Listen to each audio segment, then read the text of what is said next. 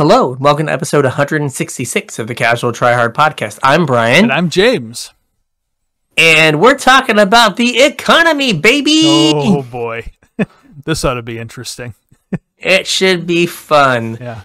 So, if you want to hit us up about your thoughts on the Magic Arena economy, all of our social links are in the uh, description, so you can find us there and tweet at us about how how you're maximizing your arena bucks or whatever. Your arena bucks, sure, we'll call them that. Um, yeah. And I guess also on the topic of money, we would like some. so if you're looking I gotta buy these gems somehow, man. That's right. So if you're looking to pick up any singles from Kamigawa or, you know, whatever else that you've missed you're looking to pick up singles for, we would appreciate if you use our TCG player affiliate, affiliate link. It's tcg.casualtryhardmtg.com. Uh, follow that link, and then whatever you do after that, whatever you purchase, we'll get a percentage of that helps to support the show. We really appreciate it. If you guys want to Yeah. support us a little bit more directly, you can do so at patreon.com slash casual tryhardmtg. Patrons get access to our show notes. Uh, they get access to our pre-show, which is kind of just us rambling for a while. A lot of te- technical difficulties we were trying to overcome in this pre-show, so sorry about that, guys. Um, but that's what the There's, pre-show there's is. apparently an on button that I needed to hit. Who knew, right? Who knew? But that's what the pre-show is. It's unscripted, unedited, us making sure our equipment works and we're uh, competent enough to figure it out, and also just kind of us catching up. We don't see each other nearly as much as we used to, so we catch up during the pre-show and bringing all our patrons along for the ride. You never know what we're going to talk about. Um, so if you want access to that and all the other stuff our patrons get, also swag once in a while, usually every month or two, I send something out to you guys. Uh, sign up for our Patreon. Like I said, patreon.com slash casual mtg. Throw a couple bucks in there, I'll put you on my mailing list, and you'll have access to all of the additional stuff that we do. So make sure you check that out. Also, we have our YouTube channel that we are now producing like actual episodes for instead of just exporting our audio to YouTube like we used to do. We have uh, live streams with some ideas from our listeners in Discord. Today, we have uh, cards, and we are the cards. We are the cards. Wave to the people, Brian. Hello, get my hand in the card. There we go. Hello, people. go. I am a card. I am a 2020 flying indestructiable. Oh, I'm just decayed. That's a, just a that's a bummer. I think I got the short end of the stick. Yeah, 2020. yeah. Both of our bodies, both of our bodies have turned on us. We're both decayed on some level. Yeah, I think so. But if you want to follow follow along and watch us, and I think we're going to change up these cards once in a while too, so it might be fun for you guys to see what cards we pick each week.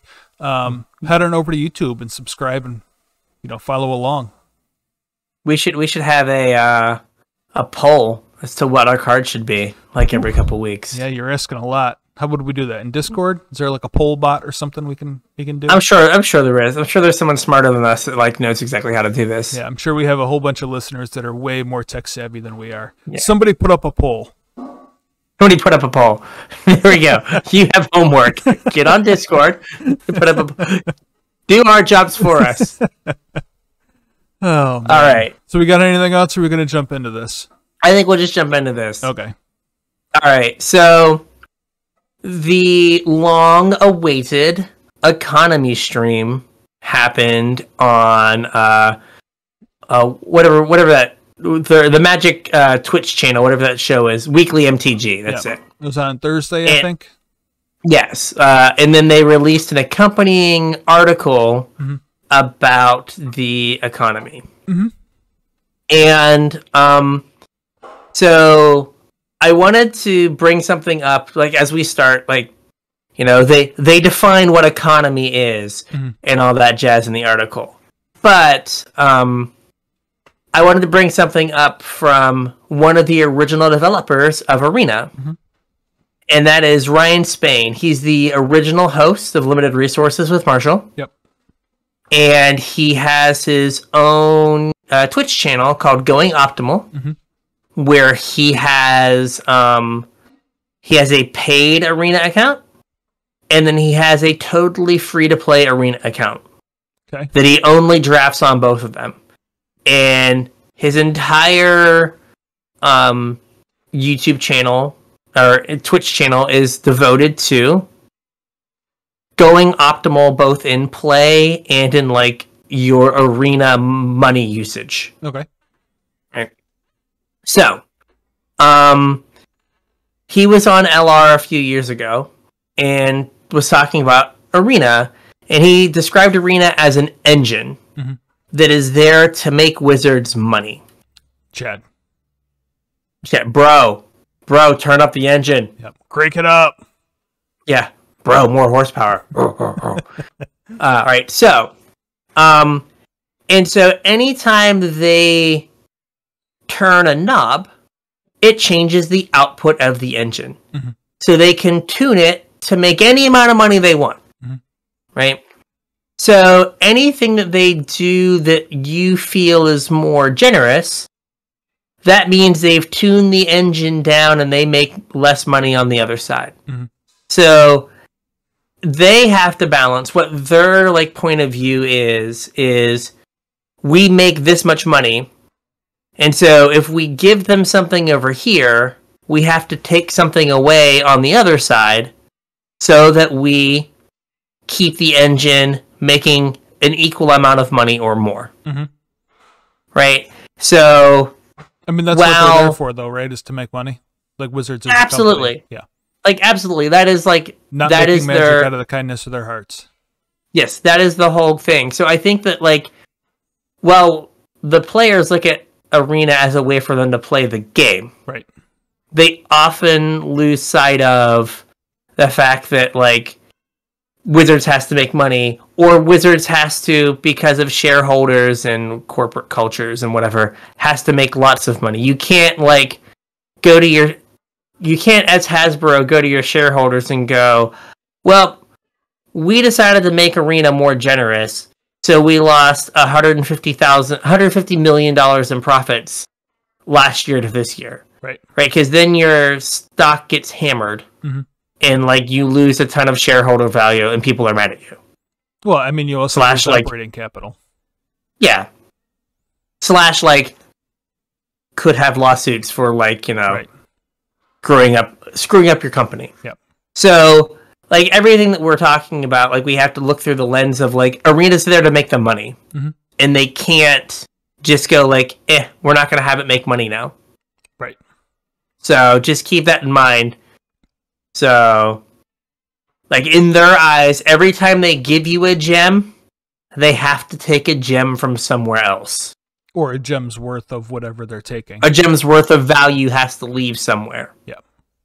Right. So all right. So That was my first little like preamble here. No, I mean that's important. It's a good thing to keep in mind, and it helps.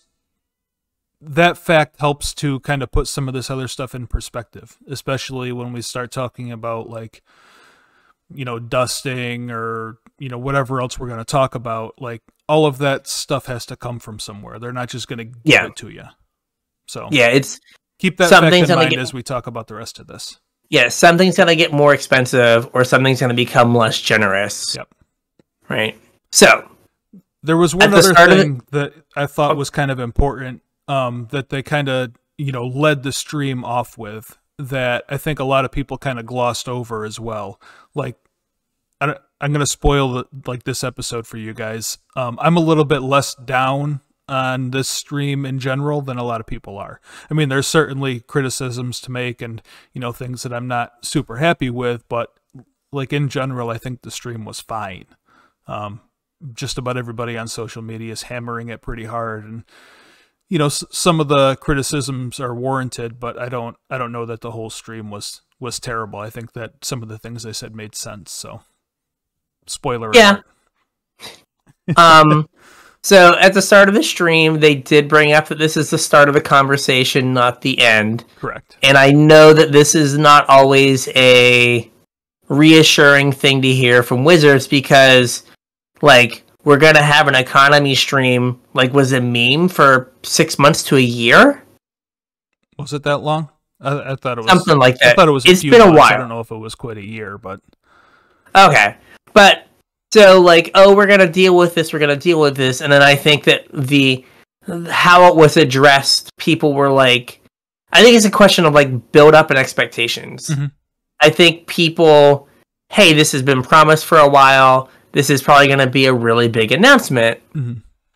And so I think the reason that people were so negative was uh, less the like the content wasn't great, Mhm. but they had pumped up in their minds Right. like, oh man, Wizards has been talking about this stream for months, and they're finally going to do it. They've probably put together a plan, Mhm. and they're going to be able to talk about like what's going on. And it's like, have you not remembered anything that's happened with Wizards with anything for the last two years? I mean, can I pump the brakes for just a second, though? sure. To be fair, it, and again, I'm going to kind of be devil's advocate here. Um, Wizards didn't really promote this stream at all. Like they Fair. had mentioned it a couple times in the weekly MTG, and honestly, the first time Blake said, "I I think we owe you guys like an economy stream or whatever," I don't, I don't think anybody like had plans of ever doing an economy stream. Like until he I said agree. it on the show, I fully expect nobody was ever going to talk about the economy. I he I probably feel got like in trouble for saying that. yes, I I agree.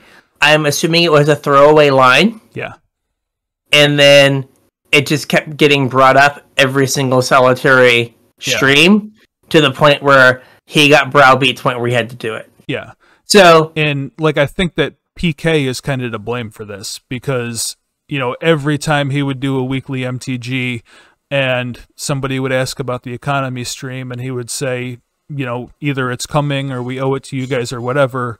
Like I mean PK was right on top of it like blasting them for not doing it like whipping everybody up into a frenzy. Like I, I, I don't under- think Wizards was you know promoting this at all. It no, was like everybody else No, but kind of jumping at- on the at bandwagon. least- yeah, but like at least they've known it was a a topic, Mhm. and I again, I don't, I don't blame Wizards for failing the expectations game because they weren't playing an expectations game. correct right? I think that everyone in many people in the Magic community had really high expectations for this for no reason. Yes, exactly. And then their expectations were not met, so they were super mad. Mhm. As Magic players are wont to do. right.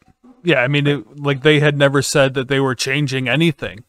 They just said we owe you like an explanation or whatever, Yeah. and everyone's like Okay. expecting all these sweeping changes. And Yeah, that's what we, I, we were talking in our chat that it was like people were upset because they were expecting an overhaul yeah, But at no point did anyone ever mention on the wizard side that there was going to be an overhaul or like even like a tune up. right. It was just like we'll talk about it. Yeah. Right. I think that people were like from the player point of view, and it's a certain type of player, Yes. right? That the economy is prohibitively bad in terms of like acquisition of cards. Yeah. So, from their point of view, they're like, this is really, really bad. Clearly, Wizards has to see this is really, really bad. Mhm. So they need the clearly they're going to fix it because they see what I see that it's really bad. But from Wizards' point of view, they just see the engine spitting out money, and that's really good, Right. Really good. Like really good. billion with a B. Good.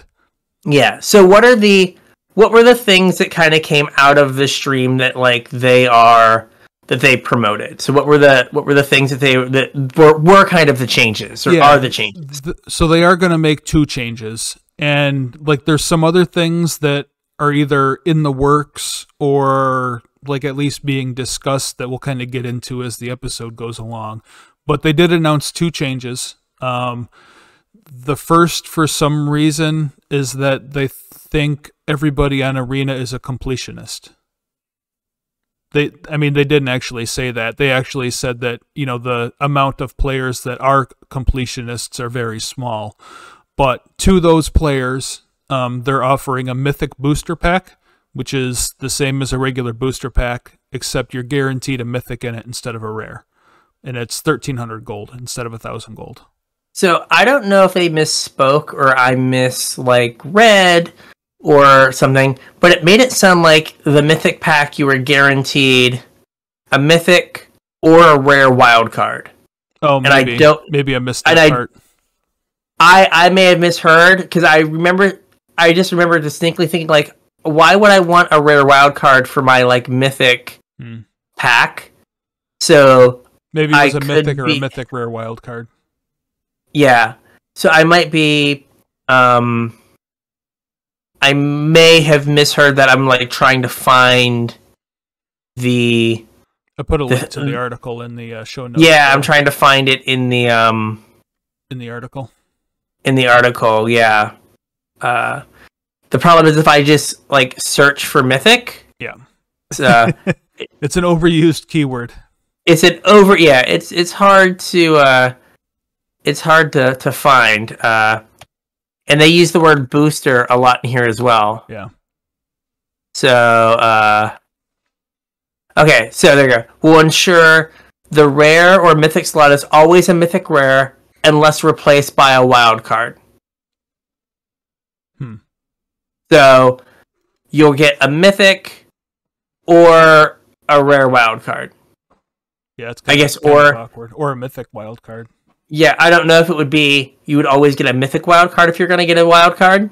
Maybe. I would I would hope if I paid the premium. Yeah. So this is 300 more gold for this product, So it's a peck and a third. Ish. which which is you know, the the people you do end up getting all of your rares Mhm. and then you're often short a bunch of mythics. Mhm. So it's probably worth it to just be able to instead of buying 50 packs of um Kamigawa. Kamigawa to try to get your the mythic that you want. Yeah. You can buy the mythic pack of Kamigawa in hopes of getting the mythic that you want. Mhm. Um, and then the other thing that they gave us, and I think that's fine, right? Like, Like fine. Like I don't know. I, I don't know how many people are actual completionists. Um, we kind of Mhm. talked a little bit about this in the pre-show about you know th- there's been a couple different um, posts on the internet going around. I think you said you saw one on Twitter. I saw one on Reddit a while back, and we talked about it on the show once or twice too. That this number of like 25 drafts somebody had posted that like Mhm. 25 drafts you should be able to get you know most of most or all of whatever set you're drafting. Um i don't necessarily think that's 100% true but i know i do less than 25 drafts typically per set and i might not have a complete set when i'm done but i've got just about everything that i would ever put into a deck. Yeah, I think that like the like this is you, but I bet you you're missing a couple mythics, right? probably. You know, but i don't know that they're what- playable mythics either I'm I'm thinking like let's say the the dragons from Kamigawa, right? Let's say that the black dragon is playable, Mhm. right? And you want to play four in your deck, Yeah. right? You drafted, you opened your packs, you might only have 2 Mhm. right? So you either spend wild cards, which you may or may not have, to get the last 2 Mhm. or this gives you the option to be like, I'll like I'm missing 15 or I'm missing 30 of the total mythics in the in the set. I'm going to buy, you know, 10 mythic booster packs Mhm. and I will have a pretty good chance of getting one and maybe I'll get lucky and get two of that mythic. Yep.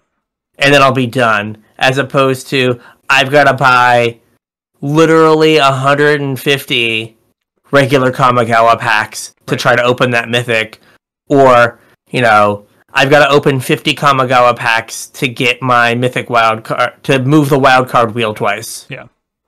Right. So this is good, and I think that like you know what I pot asked later on is.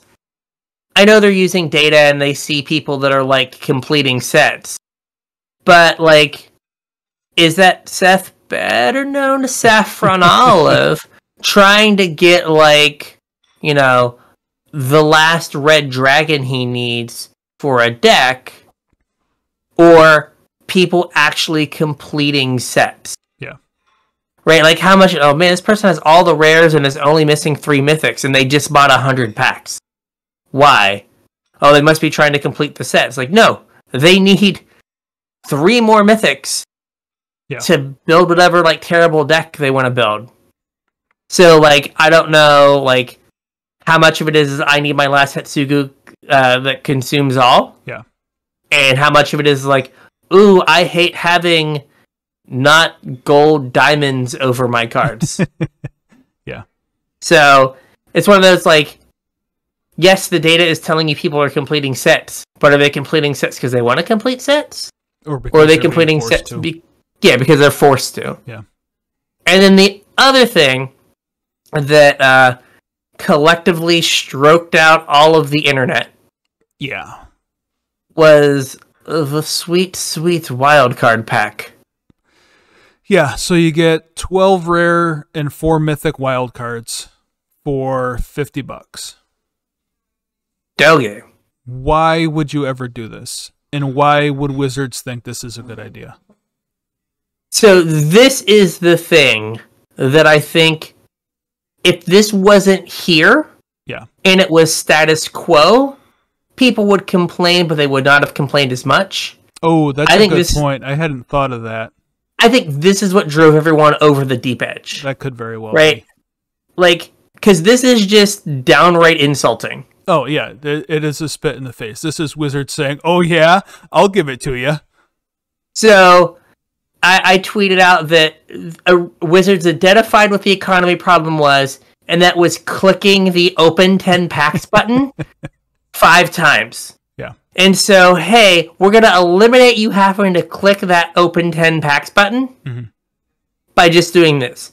So Frank Karsten did the math, and I don't have it up, but basically, if you were to open, if you were to spend $50 on packs, Mhm. You get roughly 46 packs.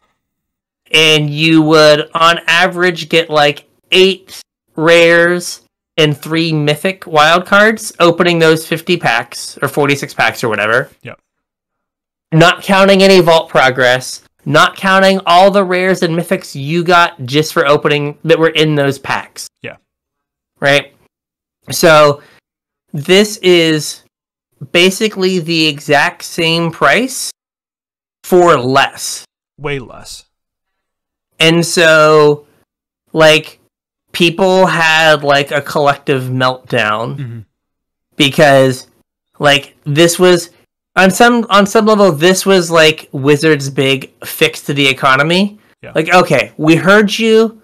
You don't want to just have to open endless packs, right? You don't want to have to spend whatever a hundred gems to open a pack that has just twenty gems in it Right.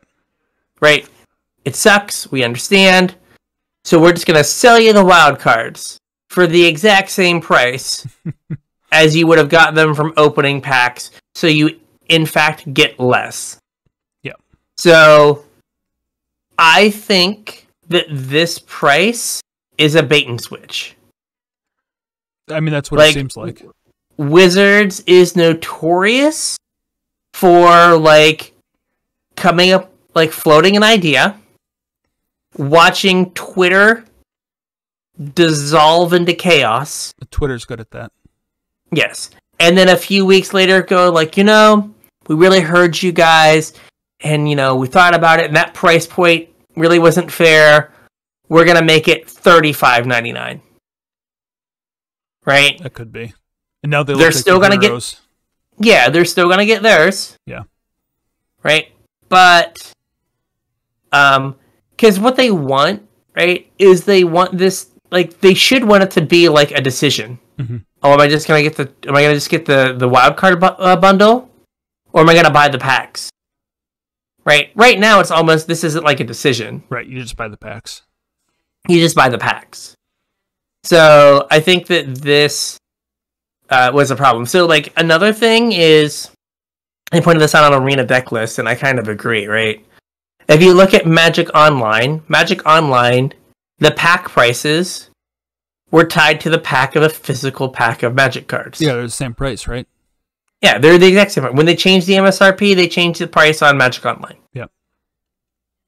It seems like they tied the wild card pack price to what it would cost you to get these cards in paper. Oh, that's an interesting Right, so- idea.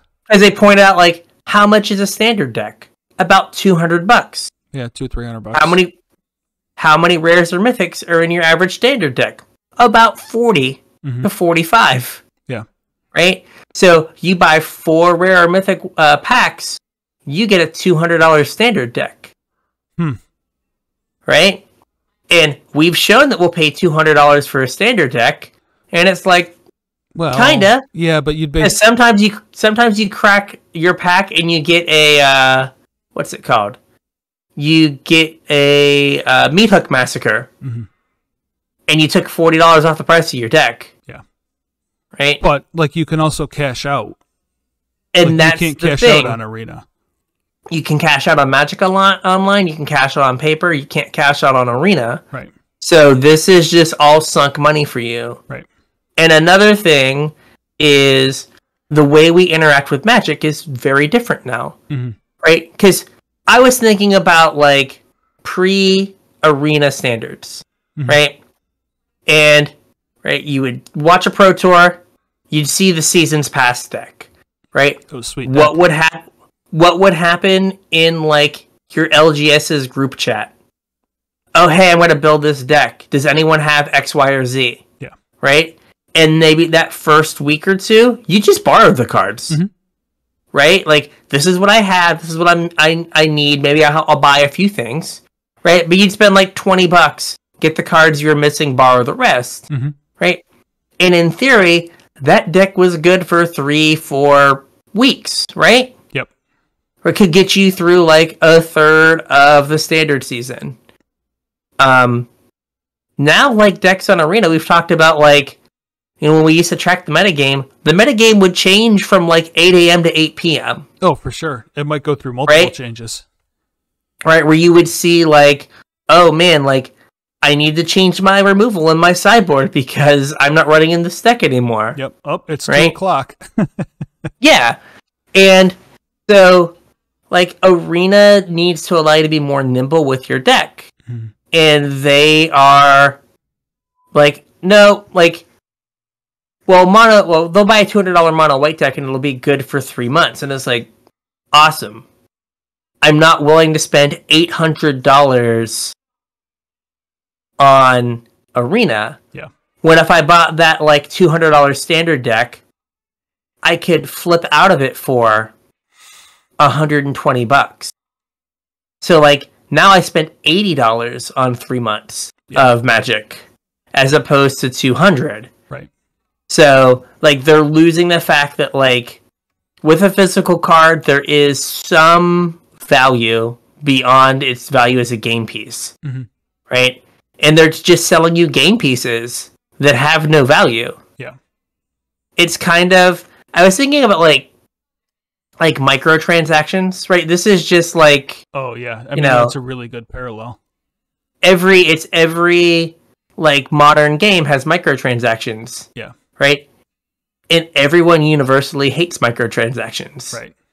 And um Magic probably more than almost any other game I can think of is on some level pay to win. Mhm. Right? If you're um right, if you add 12 rares to your deck, your win percentage might go up 10%. Yeah. Right? That is the clearest pay to win you can have, right? Yeah. Right, your win rate doesn't go to 100, but maybe it goes from 45 to 55. Mhm. Or that might be too, maybe it goes from 40 to 50, right? That's a big difference. Mhm. Right? So it's like a pay to win kind of thing. And like they've made the grind so bleh. Yeah. Right? The grind is and you I don't think you can literally play enough magic to get enough packs to get the whole set, like as a free to play player? Probably not. And Right, like just- this might be subject to change also because they did talk about something else that I think we're going to mention a little bit later in the show, unless you wanted to talk about it now. Whatever you want to say. The I don't- um, I don't- the constructed events, Oh yeah, they're changing the price payout on them to make it more Mhm. in line with the drafters. One of the things they said in the stream was that you know they're giving out these packs to limited players as prize support and like limited players don't care about the packs they just want to play limited so they're the people that really need those packs are the constructed players. So the constructed events you know like the thousand gold or what I, i'm sure they're going to change the price but the like six or the seven win two loss events or the is it five win three loss best of three events or whatever they are um, just the ones you can enter on demand they're doing away with the icrs and they're going to move to booster packs it's going to be gold and booster packs for the payout You- Which is you know good. you could they they could just make them wild cards. i mean they could They could just pay you out in wild cards. that's true Um, except that But they again, like, to what- take that wild card out somewhere yes, like what would the price point have to be for them to like feel like that is like?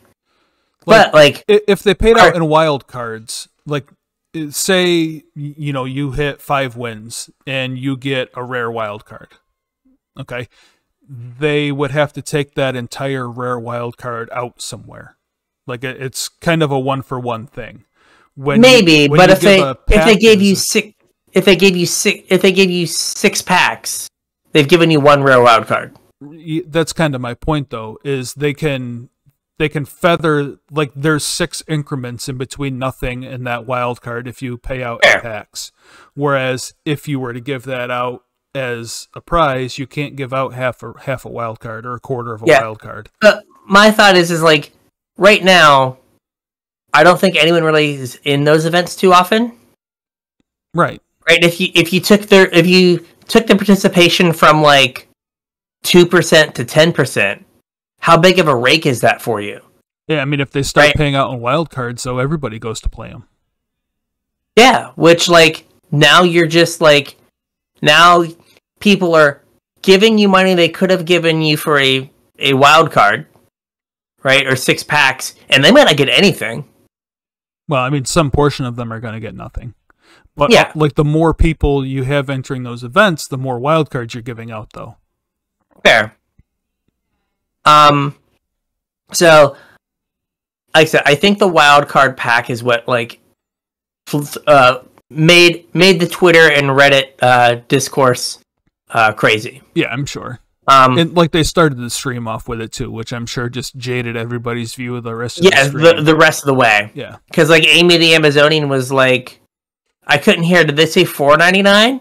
And someone's like, no, forty nine ninety nine, and she was like, what? Yeah. Like that's yeah. So like I think that was just like universal. Mhm. Um, and this IRC, this pact instead of IRC is going to happen April May ish timeline. So am I'm guessing like uh when Streets of New Capenna come out. yeah. I think they said it was going to be around streets. Yeah. Um. Also, this is another thing that I had on the notes for later in the show, but we don't have to go into it super deep, so I'm going to mention it now. Um, it's probably also going to coincide with when Huey does his OP stream. Yes. Um, they announced that they're going to have Huey on to talk about whatever the new face of organized play is going to look like. And I on the on the 31st. is that when it is? Um, they also mentioned that these constructed events are going to play into that somehow. Mhm. So, Yeah, we'll like, see what I that could- brings. I could definitely see like you know some sort of like oh if you like 7-0 an event Mhm. it qualifies you for another event or something. Yeah. In like, Um, like this is kind of a whole different issue. I don't know if you want to talk about it today or not, but like I think part of the problem with arena and why everybody's so bitter is the ladder. Like the ladder just makes the game miserable to play. You're so True. concerned with your rank and how quick you can get your wins and what your win rate is and like that's not what Magic's about. That's not what Magic has ever been about. Magic has always been about the tournament not your progress over six months, you know, tracking every single game. Um, Mhm. So I think like a focus from the point of OP on these challenges to bring it more in line with what Paper Magic is and to bring it more in line with what like even Magic Online is, I think is a good move. Yeah. Um agreed like and like uh I had an article that was on uh, Channel Fireball talked about like arena's currency is really time. Like how much time you spend playing Oh, for sure. and like the time you spend on the ladder is not rewarded. No. Right? Like I hit mythic and it's like cool you get 3 more packs. Yeah. It's a it's a joke. and it's like it's like okay like why did i spend all this time like Yeah. like realistically i'm not going to be in the top 100 mythic players Right. right just due to time right and so like i hit mythic and it doesn't mean anything Mhm. right so like why why bother Mhm. um now uh they did bring up that maybe you can grind sparky with cards you don't own Yeah, just as a way to test decks. Um, they're yeah to like goldfish Yeah, they, they they said they've talked about it. They haven't made any decisions yet, and they don't know what the best route is going to be. Um, they mentioned not just Sparky, but maybe against friends as well, yeah like in a And that direct would- challenge that kind would- of thing. be a a boon for people that are testing for like events on arena Absolutely. right instead of having to like dump all the money in to get your one uh, a deck to test with and then go like well that was bad Yeah. and then have to like try something else to just be able to test would be good I mean, it, it, um if they do it through direct challenge, that also kind of opens up a whole new like weird thing for like privately run tournaments. Yes because then you would like you would effectively everyone would have god accounts Yeah. So that could be an issue that they, you know, don't, that's not a box they want to open. I'm sure So Chad could has just- uh, thought about that though. Bro, don't let those nerds get my beans. Yeah, put them back in the box, bro. Yeah, bro, those beans go over there. In Chad's office, bro. All right. So now we want to talk digital versus paper. Yeah, they made And- they made some statements on the stream that are kind of like contradictory. Um, Okay. so I thought we'd just kind of talk about it in general because some of the things that a lot of people have problems with kind of fall into these categories. At least from Mhm. like the criticisms I've seen around like social media or whatever. Um, in some aspects, Wizard want or Wizards of the Coast wants Arena to mimic uh, paper. They want it to be the same game.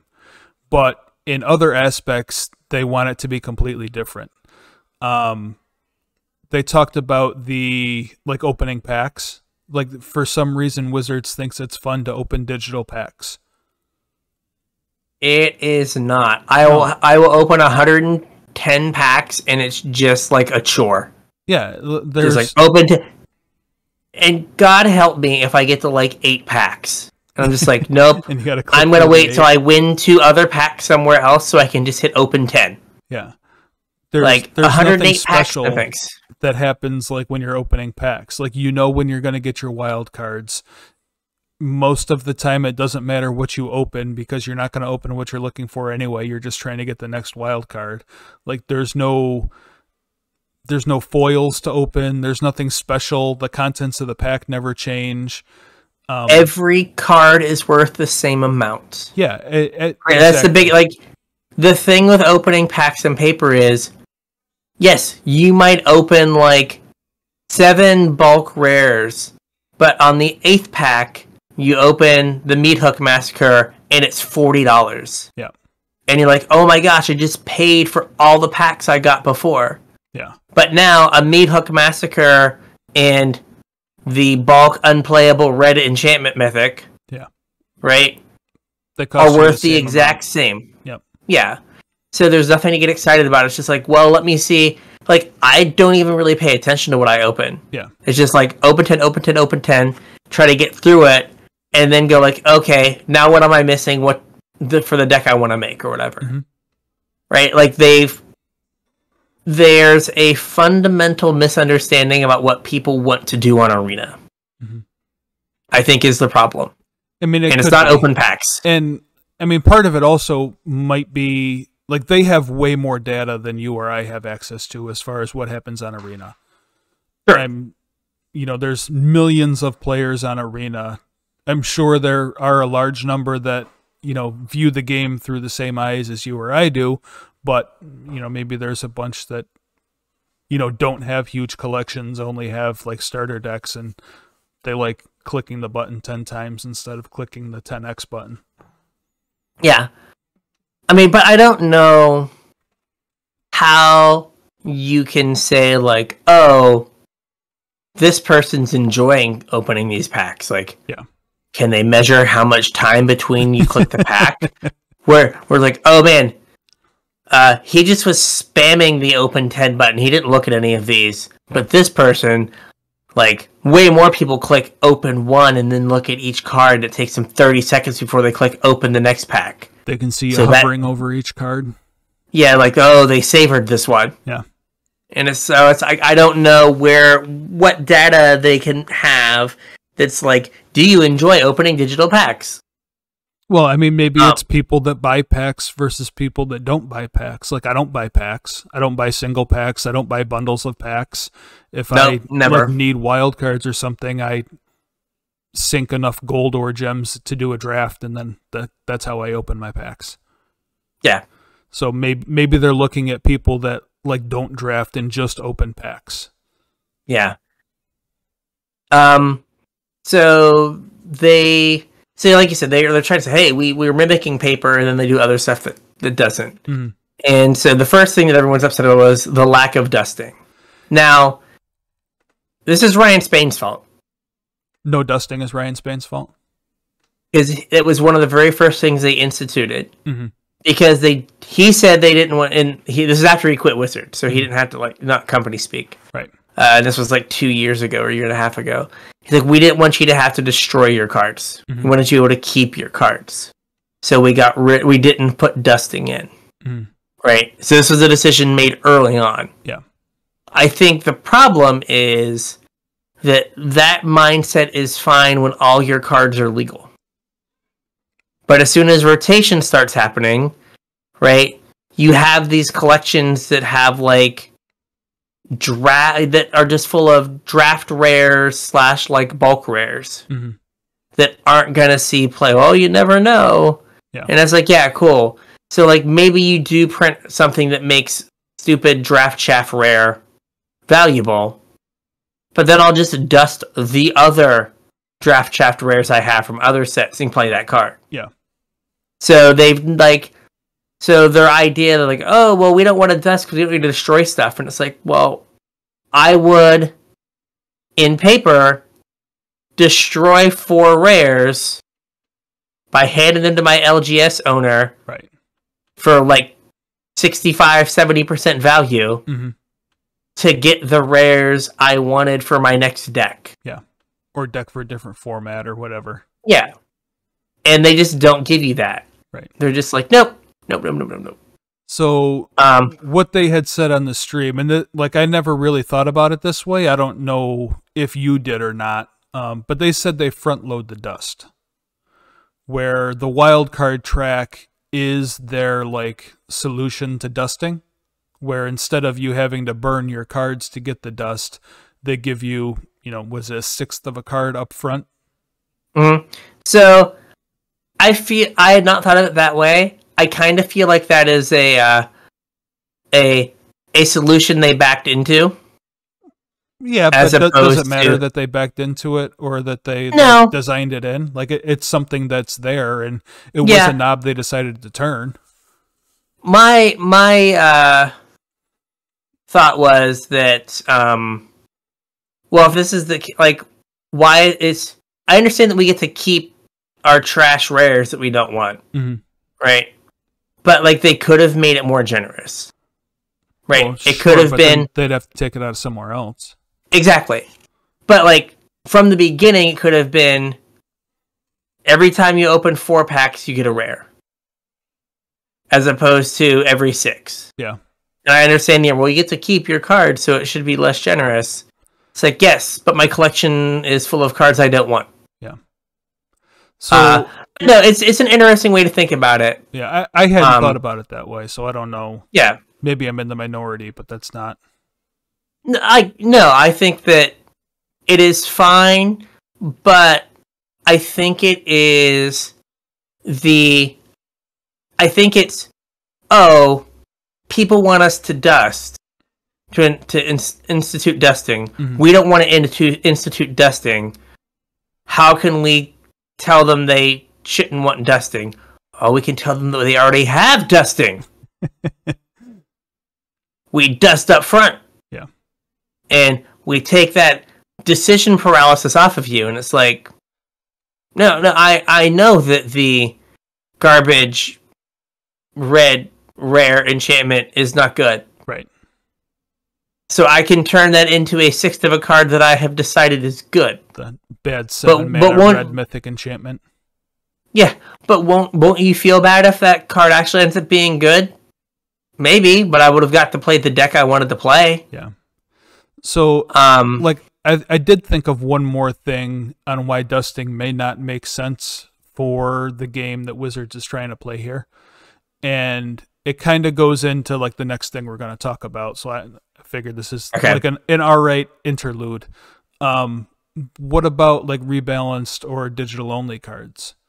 Like they shake up the meta a lot more and they change the meta. So like if you look at a lot of the cards um or go back and look at the like big event that happened where like venture was you know the deck that took down the tournament. Those cards i would like were to apologize? Those cards were all awful right? Hmm and then they you know made them all better. So how like their whole point behind not dusting is the feel bads right Yeah. being somebody that has you know a finite resources to sink into arena say you were playing an afr and you really liked the venture mechanic and you built the venture deck before everybody told you it was awful and you got absolutely pummeled and you dusted the entire deck to build dragons or whatever Uh-huh. along comes alchemy and you know brings all those cards back up to a power level where they can compete and venture takes down you know a big professional level tournament like how bad do you feel at that point that you turned an entire deck's worth of cards into five card six cards fair. I think that the the the problem with the game they're playing is on. So yes, that does avoid that feel bad. Um, I I would contend if they had tested standard at all for the last two years, we wouldn't have this problem. it's a whole different conversation though Uh, but so you're you're throwing um you're throwing 30 alchemy basically rares into the format every 3 months. right but like Right. The, the new cards aren't the rebalances This is fair, but but like so how do you get those cards? well i mean you, you gotta buy them Yeah, I, I can't I can't draft to get them. right right? Uh, I I can't uh, pre-fill all my co- I can't pre-get all my commons and uncommons like Blake told me to do, so I get slightly infinitesimally more vault progress. Right. Right. Like, so they're like, hey, here's all these ways to like play for free, and like we're not ca- charging that much. But after you drafted to get the cards, now for the format that we really want you to play, you've got to buy all these cards every couple months. Yeah. And you can't dust anything because what if we print a card that then you buy because it makes some other cards you have good? You wouldn't want to dust that. But then if it's too good, we're gonna rebalance it again and make it not work the way it did when you kept your card. Like Yeah. they're like because they brought up like, oh well, we we uh uh you know rebalanced some cards that actually still showed up in the uh alchemy tournament, so they must have been like fine. It's like okay, so like Inquisitor Captain, you built this entire deck around like Yeah. blinking Inquisitor Captain. Then they make it so it doesn't work when it blinks. So all those cards are now garbage to you. right Oh, but Inquisitor Captain can still get played in this other deck, so it's fine. It's like no, no, no. Like that's a feel bad for the person who got like Soul Herders and the stupid three mana like rare clone hmm and like all the blue white lands, and then was like, oh, I guess I can't play this, or like they're ephemer, they're they're rare ephemerates. hmm Oh, Yeah. I rare I guess I can't- one. yeah, my my my deck doesn't work anymore. So like this system is full of feel bads. Mhm. It it would I think it would feel less bad if like you were given a choice. I think that's what a lot of people just want. Like, give me a choice. Yeah. Right. Don't lock me in. Right. And then like Wizards has all the power to be like, oh, yeah, you know what? Um, like they have the power to ban your cards. So like, yeah, like we're gonna get rid of Epiphany. Oh, okay, there went my deck. Oh, I'll just play it. In, it's kind of fixed in Alchemy, so I guess I'll play it in Alchemy. And then they like make some other change, and you're just like, oh, well, I guess, I guess never mind. Yeah. So like, I don't know. Like the we want to avoid feel bad sounds good, but I don't know how much what they're doing avoids feel bads. I understand what you're saying. Um, in the world that they're trying to build, though, I think there's a lot more potential for feel bads than there was before, though. There And it, that that was just you know the point I was trying Yeah. to make was that in this So- you know world of digitally changing cards, it's it's kind of weird. Yeah. So the the the comment that you made, like the world they're trying to build, and this is something I was thinking of, and then Arena decklist kind of articulated a little bit better, right? Uh, I forget the name of the theory, but like when your users are using your product, Mhm. right, and they say, "I'm using this product this way." You don't look at them and say, "Well, that's not how I want you to use our product. Use it." You're this way." doing it wrong. Yeah. Yeah, like I heard a neat story. Did you know what Play-Doh started out as? Nope. Play-Doh was wallpaper cleaner to remove soot Hmm. from wallpaper. And the business was going under because well, there was less soot on wallpaper in the 40s and 50s. Yeah. And apparently the guy who owned the company his had a friend that was a teacher and she was like, "Oh yeah, like we use this stuff in class as like a toy for kids. It's pretty neat." Mhm. And so he didn't go like, "No, only use it to clean wallpaper." He was like, "Oh, interesting." so we use it to make little to play with little kids. Put some But colors those in that. Yeah, cool. I have a multi-million dollar business now. Great. Owned by Hasbro, I think. Yes, owned by Hasbro. right. But I feel like like I was just saying that it, it feels like um um what's it called? Um Wizards keeps doesn't understand how people want to interact with their product and keeps saying, "Well, our vision for Arena is this." And it's like, "Cool."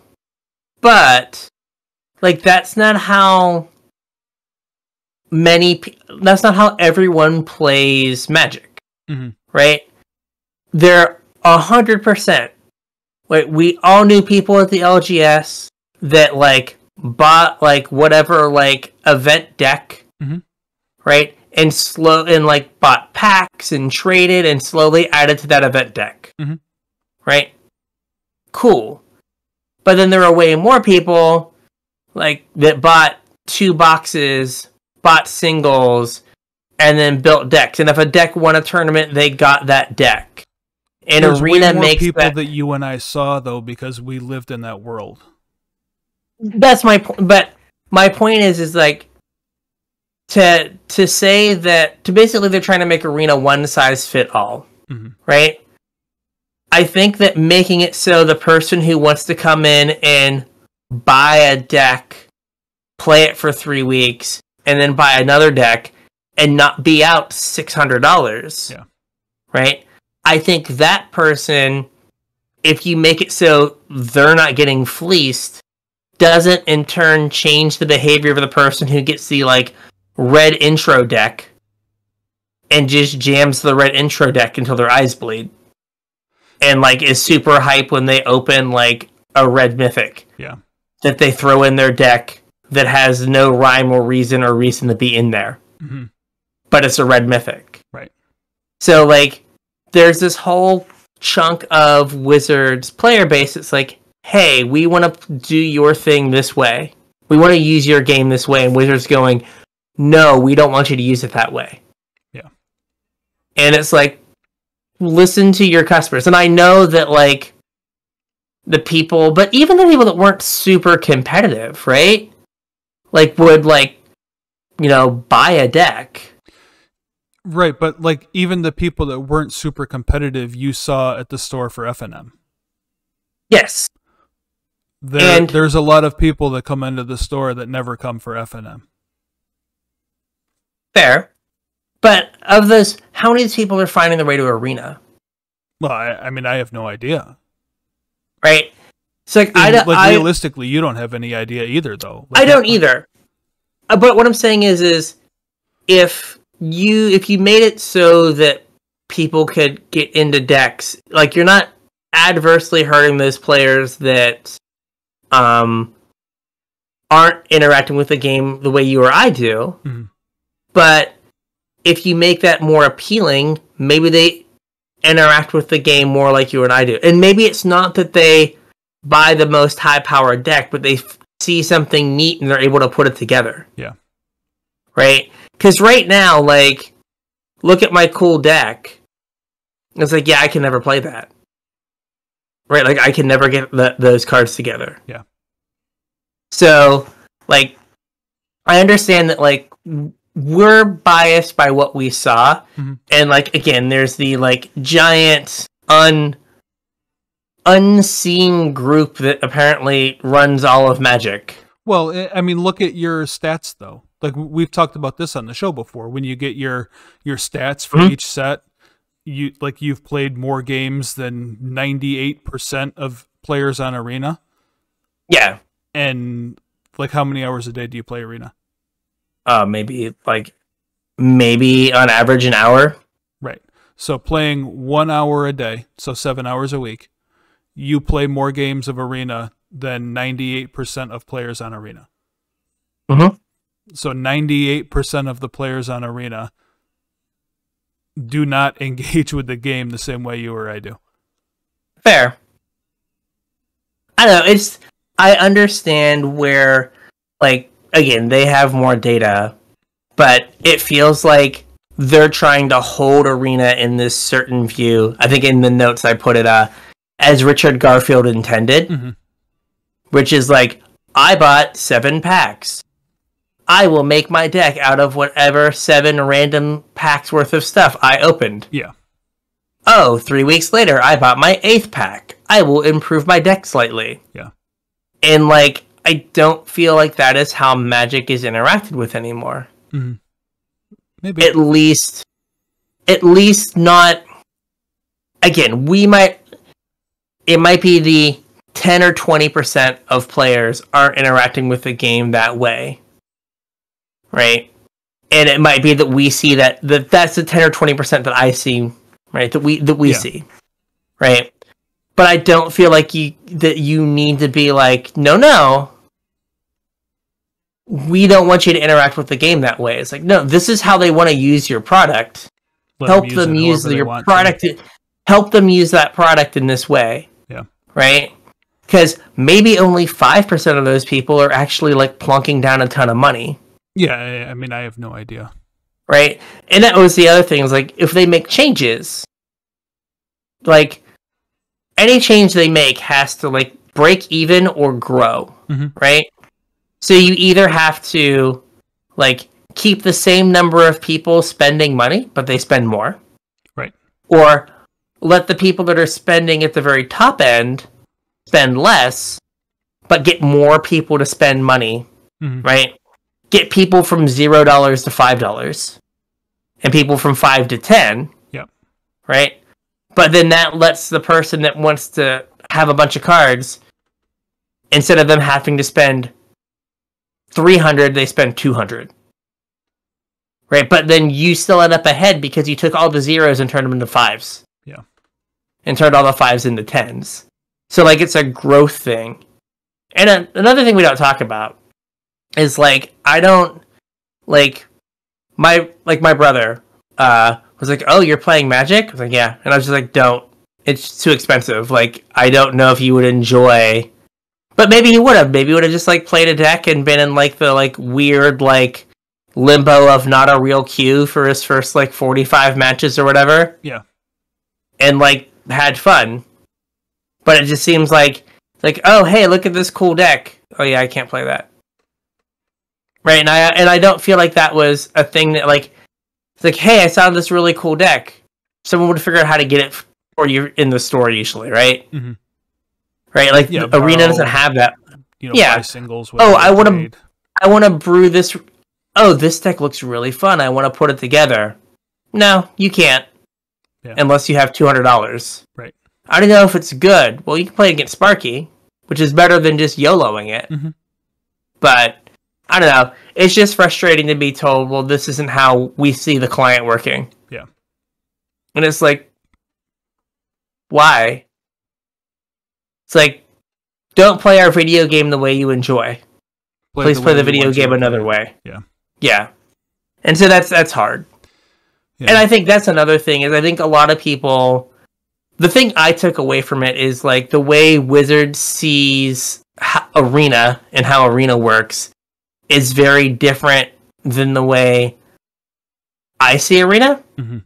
and the way I want arena to work for me. Right. And I so mean, we've had that criticism from the get go, though. Yeah, but I think like to just hear like, oh no, that's not how we envision the client working. Like we see someone like playing a red deck and then making it a red white deck, and we know it's really hard if you go from playing Boros to Simic. Like that's where like there's an issue, and it's like, okay, but how many people do you lose that were playing the Boros deck and then they want to play the Simic deck and they just can't? Mhm. Or like they were winning 52% of their games and feeling good. And then the Boros deck became awful for whatever reason. Because you changed a card. Yeah, you changed a card, or like, or like the Simic deck got really good. And like, oh, I want to play that Simic deck. And it's like, yeah, no, you can't ever get there. Mm-hmm. You you started with the red starter deck. Right. You are now a red mage until you've played enough to get like a hundred packs. Yeah. And God help you if you needed a green card from Zendikar, because now you got to get a hundred packs of Zendikar. Yeah. So, like, that was something I was thinking of. It's not in the show notes or anything, but I think that's a knob that they might be able to turn in the future. Is like the old sets that aren't standard legal. Like, maybe you don't let them count towards your wild card progression, but like sell the packs at a discount. Like, how many people are buying Guilds of Ravnica packs? They're on the client. Yeah. I mean, that would be a huge departure from where we started of two wild cards for every historic rare. it's true. now, now, now, now we're doing it at a discount. Like. But like, we just like we keep pricing people out of the client, Mhm. right?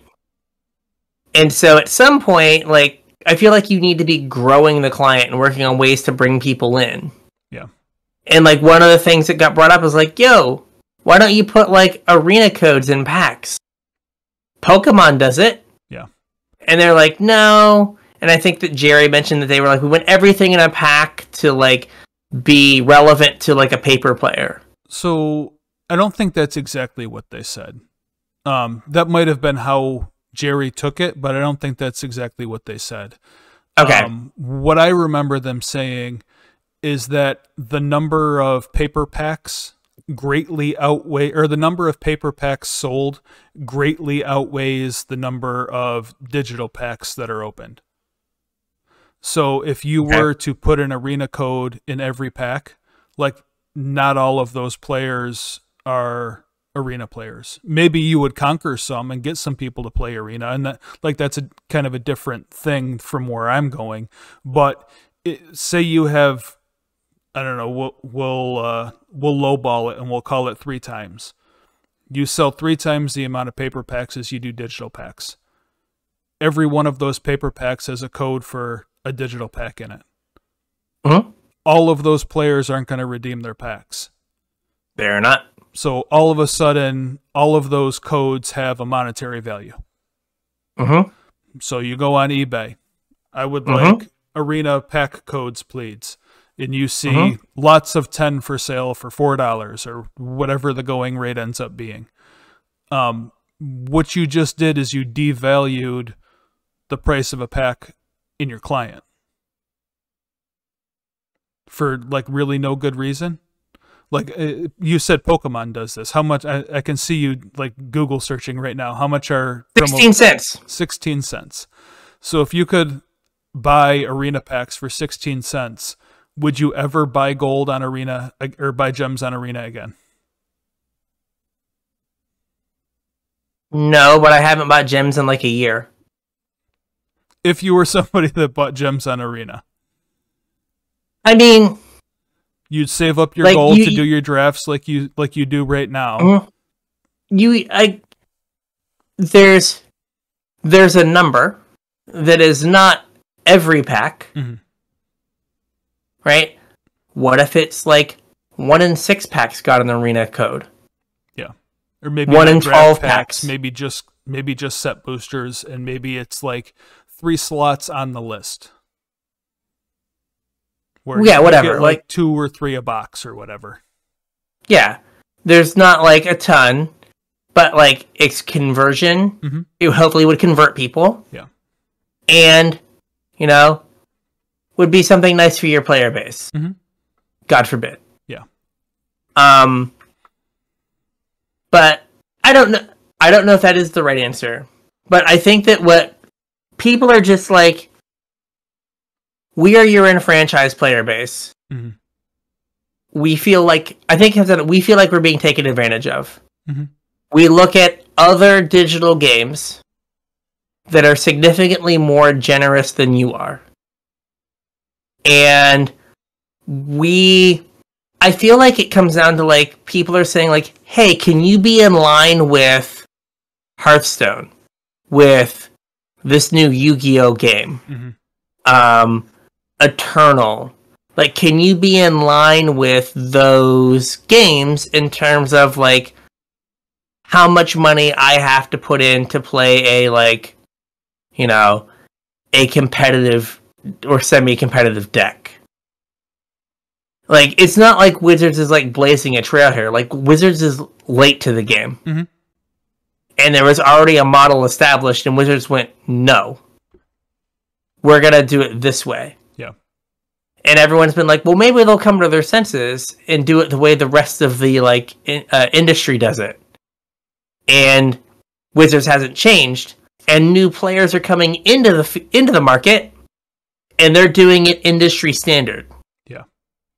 So like Wizards is off on an island doing it different than everyone else. And they are probably making way more money than everyone else. Mhm. And maybe everyone's doing it wrong, right? Yeah. But it feels like if six other major corporations are doing it this way, and you're off over here doing your own thing, like, who's probably wrong? Well, I I mean, again, I told you at the top of this episode I was going to play a little devil's advocate here. Um, if you're making money hand over fist doing things the way you're doing them, and you're not losing people to other clients, like I mean, you're still signing into Arena every day. I'm still signing into Arena every day. I, All these I am not signing it every day. Well, Yeah. all, all these people that are complaining on social media are still signing into Arena every day. Like, Oh no, I agree. I agree that there is that on one hand we're all no, not we're all like we people are saying, "Oh no, the client is not as generous as everyone else," Mhm. but yet are going on and playing for four hours, right? right? Like I totally understand the disconnect of I don't like this, must log in, Yeah. Got to Right. get my wins. I need my four wins. I got to do my challenge. right? So like I 100% agree that like there is some cognitive dissonance of of this. Mhm. So, like, from my point of view, the way I interact with Arena, like, I don't have a problem with the economy, Mhm. right? Like, it, just works, fine, me. for me. Yeah. Like but said, I I, haven't put gems into arena in 12, 14 months probably. Yeah, but I understand that a lot of people it doesn't work for them. Oh yeah, especially And people that are like just getting in now and want to play, you know, a non-rotating format. Like, good Yeah. luck. I'm sorry, you should have Yeah, like- signed up two years ago. Like yeah, and like I think that that is a long-term problem. Yeah. For for wizards that they have to address Mhm. because you know, I mean even with the like oh hey, we're going to what's we move OP onto arena. Mhm. How does someone get the cards? Well, I mean, I don't know if they're moving OP onto Arena or li- like I, until we see Huey's stream, I don't know what they're doing. Yeah. But I'm just saying, like, like there is this huge barrier to entry to arena, Yeah. right? The the the free to play model is fine, Mhm. right? But like, I feel like there's a sandbox for free to play, and then there's a different entire game. Yeah, I mean, you, you definitely don't have the same people that are like actively trying to be free to play. Like, I think you and I are kind of in the same boat where we're like mostly free to play, but only through you know being decent at the game and spending a whole bunch of time at it. Um, yeah, it's it's time and some skill. Yeah, the pe- and like we don't mind throwing a couple bucks in for gems if we need to either. Like the people that are actually trying to be free to play, I think are in a little bit different sandbox than even you or I. And like I said, I, Yeah. I haven't put gems into arena in at least a year. Yeah, I've we are three almost three months through. I made a uh, spread a Google Doc that was arena spending. Yeah. because we always talk about our arena spending, then we ne- never know what it is. Right. And neither of us has put anything in for this year. hmm And I'm gonna get through Kamigawa in probably the next set for sure, and not have to put any money in. Yeah, I will definitely get through Kamigawa. Um, I'm I'm not sure about the next set. I might need to put some in for next set, but we'll see where I end up. Yeah, like I have, I still have like a hundred and uh, no, what is it like? Whatever, it's like fourteen thousand gems or something, or twelve thousand gems. Like I'm still like fine. Yeah, I think I've got five or six drafts worth of gems left. Yeah. So, all right, moving on a little bit. Yeah. The the meme to come out of this, and and we're a little bit long for what what our uh, goal for an hour podcast, but that's all right. Uh, the meme to come out of this was Technology. we don't have the technology. Yeah. So there are some things coming that are technological marvels.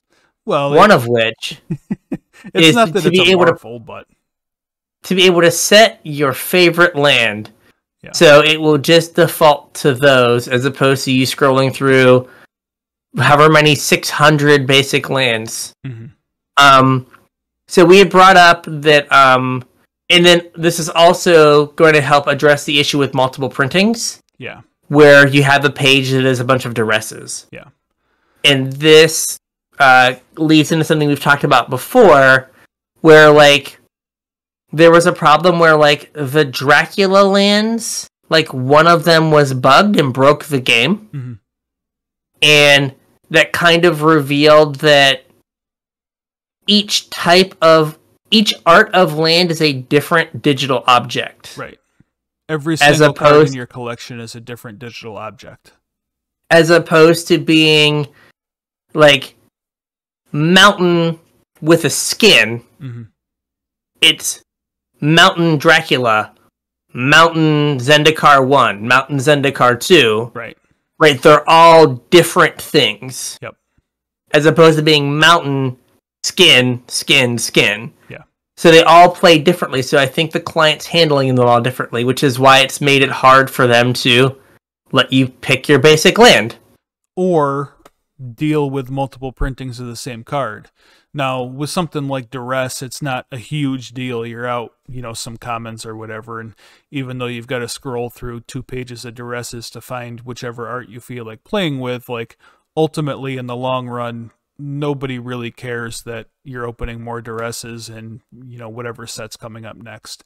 The problem is like the rare land cycles that they tend to reprint, like Fabled Passage or the Scry lands, where they've been in multiple sets on Arena with like the same exact art. So you're basically losing a rare to like a duplicate card that you will never ever play. And like they did move them to the end, Right. But they still exist. but they still existed. As opposed to just letting you say like, yeah, no, don't give me this card. Yeah. Um so I, I put here is is Arena the TCG Cyberpunk. and what I mean by this is there's been in the last year and a half, uh, probably because of COVID, we can blame COVID for everything usually. Uh, right, there's been a lot of games that have come out half finished. Right. Cyberpunk, um, Battlefield was at 2042. Mhm.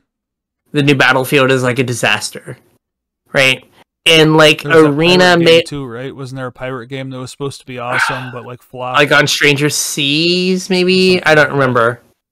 Um, but like there's a bunch of games that have come out half done. Mhm. That is like, and it's like a combination of like, you know, pressure from like players, Mhm. right? I mean, the Cyberpunk devs were getting death threats Right. for not releasing Cyberpunk. Calm down, nerds. um, and like I'm sure that like the arena shareholders were like, I want, you know, and the muckety mucks were like, yo, I want like some of this Hearthstone cash, Chad wanted his beans. bro. Bro, their game's trash, bro. They don't have instants, bro. bro, we get so many more beans than those nerds. Yeah. Right? Uh, bro, they have champions. Companions, bro. Companions. Oh man, that's where it came from. Um, maybe, but you, but so like maybe like with the lack of technology and some of the things that have not been worked out, right? Maybe the game just needed like six more months in the oven. I don't know that six more months in the oven would have fixed anything. I think But, like, we I think- had like a year in alpha, and then I think We we, had, had- another year in beta, at least a year in beta. But like, I think that like maybe not releasing like pushing the alpha back. And like because it feels like there's a lot of they like put it together and then there was someone was like what about rotation? Oh dude. Yeah crap what about rotation? Yeah. what happens when we print like duress for the fourth time? Oh god i don't know. Crap. Uh uh like stuff that like i don't know if the people who made it weren't super familiar with like how metric sets work. Mhm. And then they like turned out a product and then it was like oh there's all these things.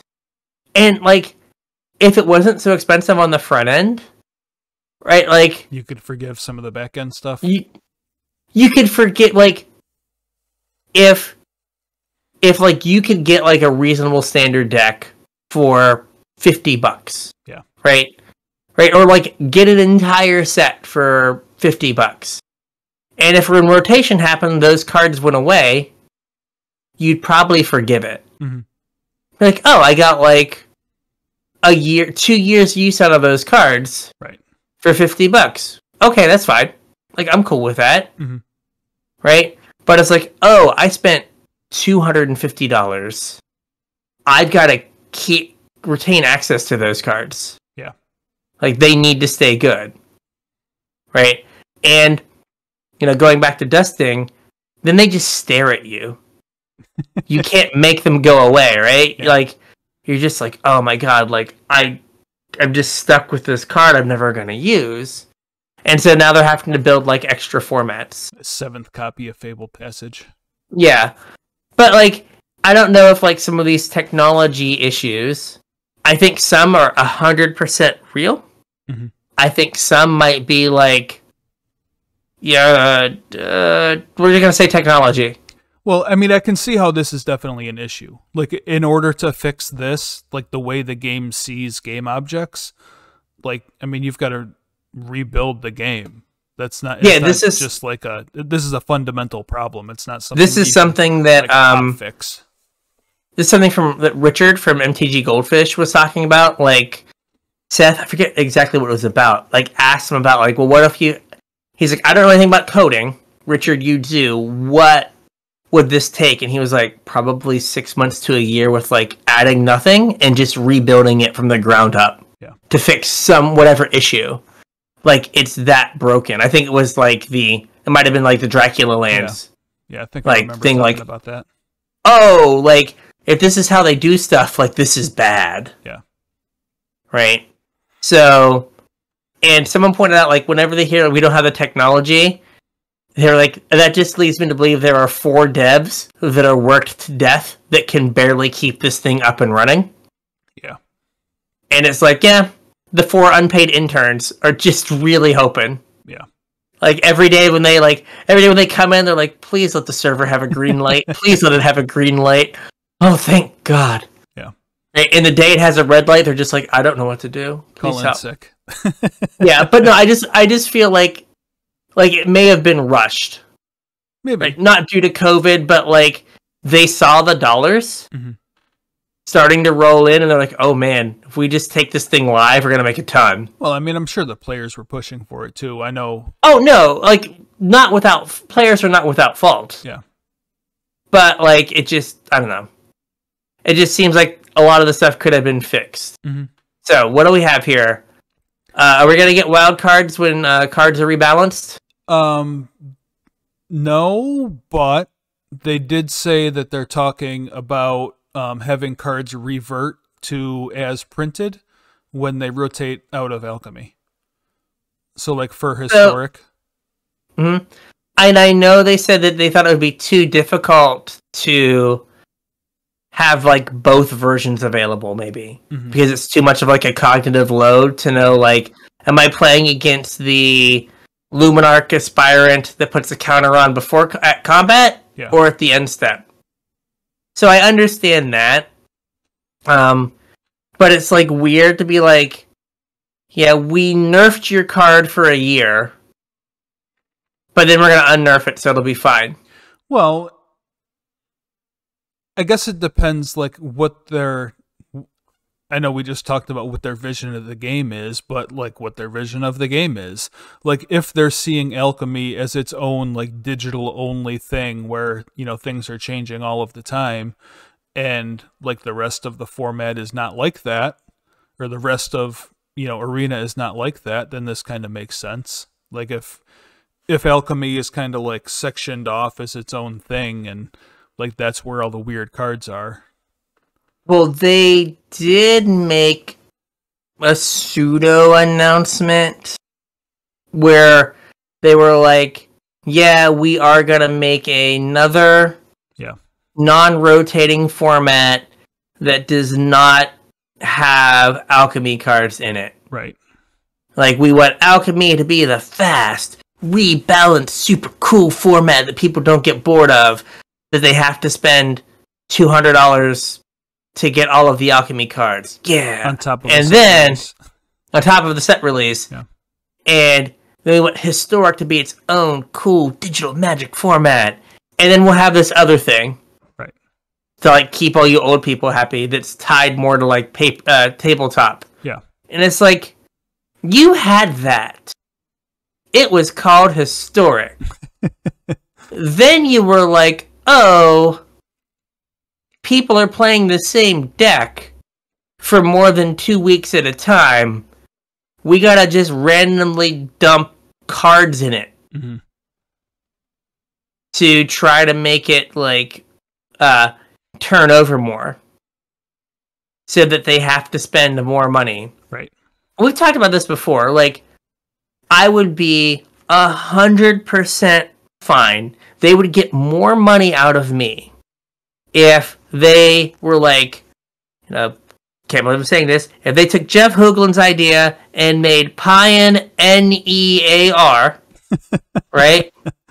And we're like, okay, we're gonna do remastered sets, which they announced they're not gonna do anymore, Mhm. which was like, well they didn't say they're not going to do anymore they said they don't have any planned right now which Right. it's not But- exactly the same thing but but still, like it, it was nice when we got like a remastered set, like every, like we got two a year or something. Yeah. Like that was that year was pretty alright. yeah it was Right. pretty good but hey, we're gonna do this, and we're gonna throw only cards that are legal in this format on paper or from paper. If they're on the client and they're legal in this format through any other means, right? So, like you know, Terrarion is in Jumpstart, Mhm. So Terrarion will be legal in this format because it would be legal in Pioneer, Mhm. right?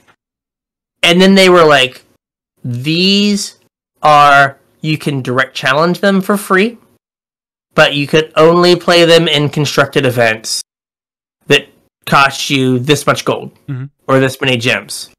In Yep. you will separate me from gems Yep. to play in these events. Yep. Right? And then they don't have the the problem with like, oh, he's playing the same deck again. And also, like all these sets rotate because like for the last like 3 years, it's just been like, yo, you want you thought that last set was powerful. I got something for you. Yeah. Hold my beer. Hold my beer. It's like, oh, cool. And then you're like, oh man, I don't think they can be do a set this way more more powerful. It's like, ah, We're gonna This do the same thing more- and then put a two on the end. Yeah. it's like, oh, we're not gonna. It's not maybe more powerful, but here are like five cards that build all new archetypes. Yeah. Oh, cool! I want to play a new archetype.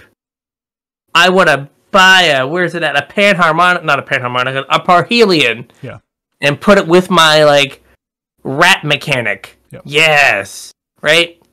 And so you like they have ways that they can rotate the formats just because they keep printing cards that are nutty hmm right? But like if they were just like if they gave you almost pioneer, right? Like that you weren't like playing and going like what weird like or like what weird card did I just lose to? Like how did my a blue black opponent just catch a cast approach from the second of the second suns? Yeah. Oh, because they like they magically conjured it from their four mana mana rock. Yeah. And I guess I lost now. Yay right? Like it would be a very, it'd be, I think, more enjoyable and a way for them to get money from people, mm-hmm. Yeah, which is what all comes down to. more mimic the paper like experience. Yeah, I which they said they want to do, but like, I'm afraid they're just going to be like Ixalan forward, and it's like, well, no, you have Amonkhet, and you have Kaladesh, and you have a bunch of Well, cards I mean, they might from. do like actual releases though. So they might do like Amonkhet, Kaladesh, and then all the standard sets, but leave out like Jumpstart and the anthologies. Well, I mean, but like, let's. My point is like, if a card would be legal Mhm. from Jumpstart in that format, then you could put it in. Yeah. You know what I mean? So, like, if they wanted to remaster uh, Eldritch Moon, right? Then they don't have to put Terrarion in Eldritch Moon because it's already Yeah, in It's already there, yeah. right? But I mean, that's you know, that's not the biggest thing. But like, it would be nice if they like kind of settled on what the the set would be, and if they just did actual releases, that would also be fine. Mhm. But then I think that kind of forces them to do remasters, Mhm. which I'm fine with as Yeah, well because fine. like now you've got to like turn that format over. Um, I think, like in all honesty, we were talking about how much money we've spent on Arena, or not how much, but how little we've spent on Arena, especially lately. Um, I think I spent I've spent more money on Arena for remastered sets than I have for set releases. Um, I would. I think I'm the same way. I was gonna look and see because I have I have all my draft numbers.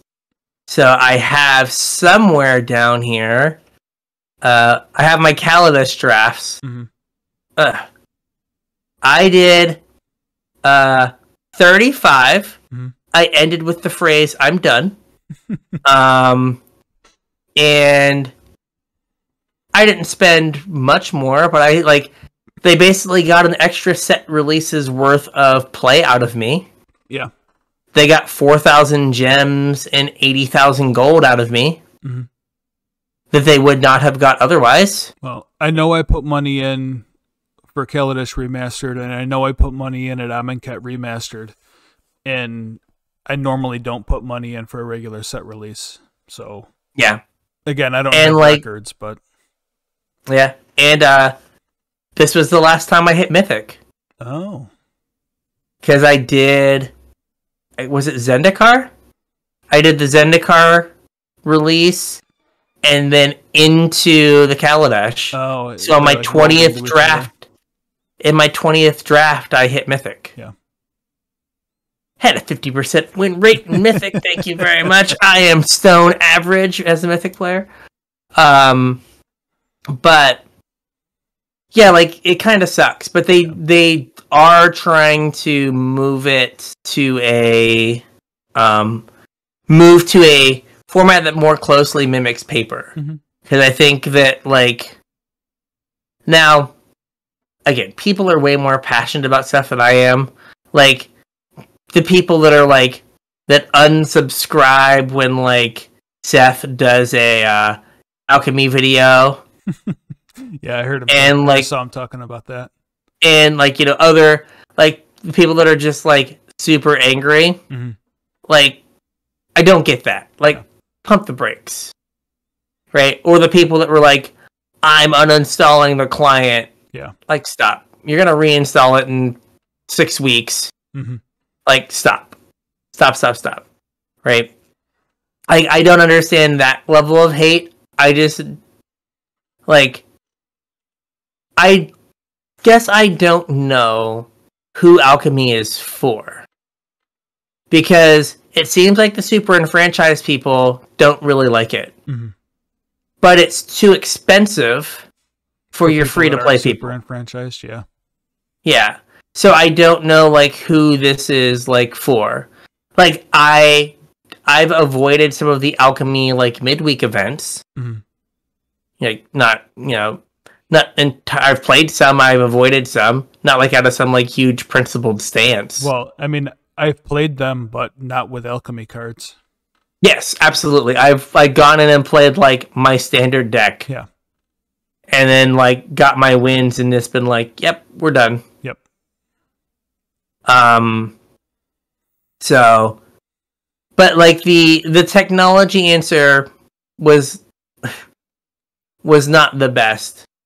And and real quick, you mentioned this uh, I think in the pre-show, right? Mhm. Like um I don't think that Wizards did themselves any favors No. by sending Chris No. from from like the server farm Right. out to do this. And like it's not his fault. Like he was hired to like run a digital game or program some stuff. Mhm. He wasn't hired for PR. No. And like, you know, if you've watched all those like streams they've done over the years and like people they've drugged from like the back of the house to the front of the camera, right? From the dungeon. Yeah. For like every Gavin, Yeah. there's like four Chris's Right. that are just like, oh my god, what the hell is going on? Why am I here? Why did you think this was a good idea? Yeah, like we And talked so- about this like in our chat a little bit, and we talked about it in the pre-show. Um, like Arena might not have a MaRo or a Gavin, And they don't need to. right? Right? Like, you know, you pay PR people Mhm. to like do this kind of stuff. Well, I mean, unless you have a MaRo or a Gavin, yeah, then like you can but like but then you can use them to kind of serve as PR. yeah, right? But like if you like look at the people you have doing arena stuff Mhm. And you just go like you know what, no. these people. All right, we're gonna have the we're gonna have the arena guy. Like we can anticipate ninety percent of the questions we're gonna get. Yeah. We're gonna have the arena guy give us the answers to these questions. We're gonna study them, and then we're gonna send out Gavin as like the mouthpiece. I understand they're like, well, we want someone who's like a subject expert, but like the the White House press secretary isn't a subject expert. they go to meetings and they get briefed, right. and then they go like answer questions. Yeah. And if you like, you know, if there's the ten percent of the questions that you don't you didn't prep for, you can just not read them, Mhm. right? You don't have to like ask every question that gets put in chat. Right. So like I think the stream may have been received better had they had a better messenger, Mhm. but I also don't fault the guy who this isn't his job, Correct. Yep. right? Like, you know, if they had you teach organic chemistry and me fix Volkswagens, there'd be some cars on fire and some confused children. Very much. and it would be neither one of ours faults, right. right? it would. It's like I don't do cars, and you're like, I don't do chemistry. Right. Why do you have us doing this? And Chris is just like, I don't do talking. Obviously. Not my thing. I email. Yeah, technology. I email people. I occasionally get in Discord and Slack. That is all I do. Why did we think this is a good idea? I had my camera off in every Zoom meeting. Why did you put me on camera? Yeah. Right? So, like, I think it may have gone better if they had a better messenger. But I think at the end of the day, we talked about this before, like, Wizards was not playing in a, a an expectations game Right. everyone else was and like wizards did not meet like expectations Yeah. and like so everyone felt like they got catfished Mhm. and wizards is like at no point did we send you a picture i don't know what you were expecting. We didn't catfish you. Yeah. it's like so what are you into? I'm into making money and occasionally making magic cards. It's like okay cool. And then they go to the stream and like okay what are you guys into? Yeah we're still into making money and occasionally making magic cards. Oh that's awful. How could you how could you How could do you us like that? money?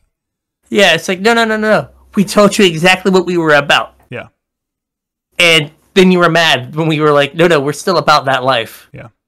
so so i i know i messaged you and i was like the the stream was hot garbage Mhm.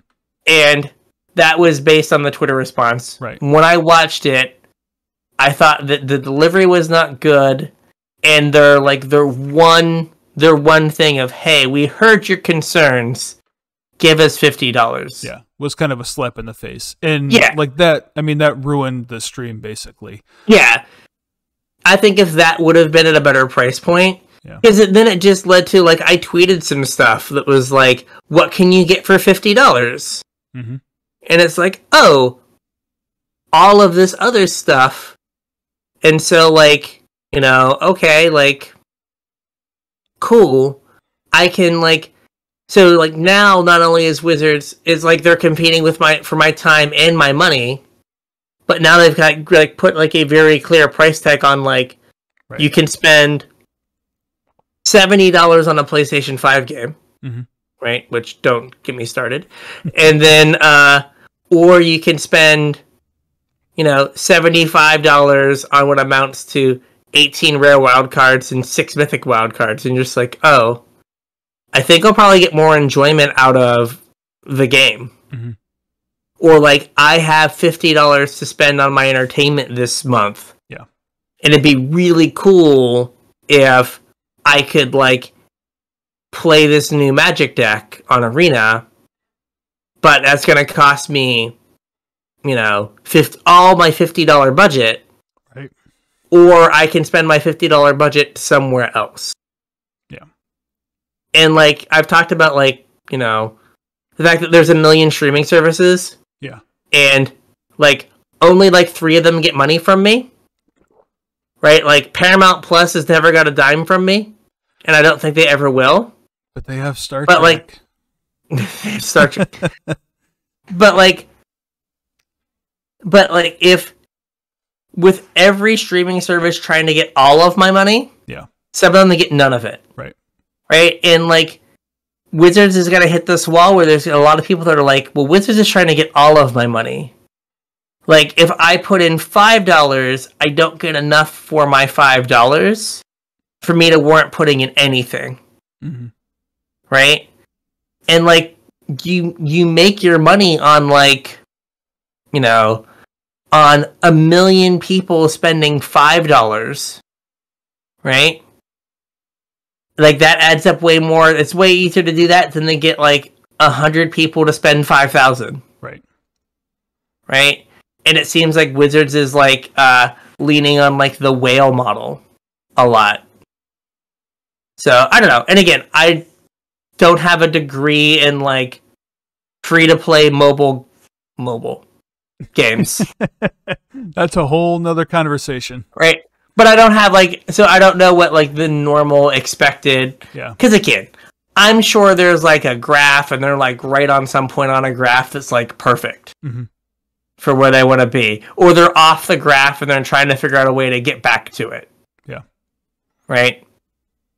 But for like or like everyone- said, I mean, maybe they put this out there as like the big ask. You know what I mean? They put Yeah. float this out there knowing nobody's gonna like it, and then they get to come in and be the hero, say, "No, no, no, no, no, we got you. It's only twenty five bucks." I mean, there's an argument that's what they did with like the historic two wild Oh, yeah. cards thing, hmm right? Because like there could have been an argument like, well, the cards aren't. Let's just give them like we should get them at a discount. Yeah. Right? Because like they're not standard league. We should get like well, no, no, no, no, no. We want to charge a premium for them. And now we went down to they're the same as everything else. Yeah. Right? And like, you know, uh you know, we we cut all this money out of the pro system, but don't worry, we put it into the MPL. Kind of. don't don't don't add up all the salaries. Leave us alone. Yeah. Don't ask. Right? Don't ask. And then we killed So, that like- too. So Yeah, but they have a history of doing this kind of thing. Yeah. So it might, like I said, it might come out that it ends up being twenty five dollars, or like I said, I think thirty five is probably where it's like slightly better than even. Yeah. Yeah, and that's all they need it to be as a decision. Because then again, like you feel like Then you have an option. Bet on you making the wrong decision. Exactly. How many times will people make the wrong decision for them? I think that like it would become at that point it becomes the right decision when you you know Yeah. you've done thirty five drafts hmm and you've opened 150 packs. Right. And then you're missing a few mythics to like play the deck you want to play. Mhm. Cuz like when I started, like I think like for the first 4 or 5 sets like after after they ins- installed uh uh what is it? A duplicate protection? Mhm. I think I have like the next few sets I have all of every card Yeah. like are complete. And that was just due to drafts and playing. Yep. So, all right. I think with all of that, we have an economy show. Yeah, nothing we missed. Nothing you wanted to add. I don't think. I think we got everything Yeah, in. we got mostly everything. I don't need to talk about my sweet high school math problem analogy. we already kind of talked about that. yeah, I think everything else on our list here we uh we at least mentioned. At so some point. if you guys wanted to check it out, you're uh, more than welcome to join our Patreon, patreon.com slash casual mtg, and you get to look at our show notes and see see what we skipped over, didn't talk about. Yeah. So uh, we went extra long this week, so you got bonus free show. Yeah, we're trying to stop doing that though. Yeah. And we gotta make an we gotta make an exception when the world catches on fire, right? Yeah, Maybe. I suppose. So, um, if you want to tweet at us how you hated our extra long show, you can find all of our social media links in uh, the description. Yeah. Um, also, like I mentioned, our Patreon, where you get access to show notes, you get access to our pre-show. Uh, you also get put on my mailing list when I get some swag I feel like sending out. Uh, Patreon.com slash casual MTG. If you guys are looking to pick up any singles, we would appreciate if you used our TCG player affiliate link, tcg.casualtryhardmtg.com. And I think that's going to. Oh, we got our YouTube channel. Make sure you check out our videos on YouTube. Brian's still making some draft videos. We're working on our kind of format for our weekly podcast videos. I actually think this one looks kind of cool. Looks way better than they did the first couple weeks. So, Yeah, hey, we're getting there. We'll and by we, I mean you. Yeah. You, you really, you're, you're really doing the Lord's work here. Did you uh, did you notice the artist uh, credit on these cards? Oh, nice! I hadn't noticed that. Very good. It's very good. Yeah, I thought it was pretty good. So, yeah, with that, make sure you check out our YouTube channel, uh, Casual Try Hard MTG on YouTube, and I think that's going to be a show. I think that's it. So with that, we'll catch you on the internet. We'll catch you on the internets.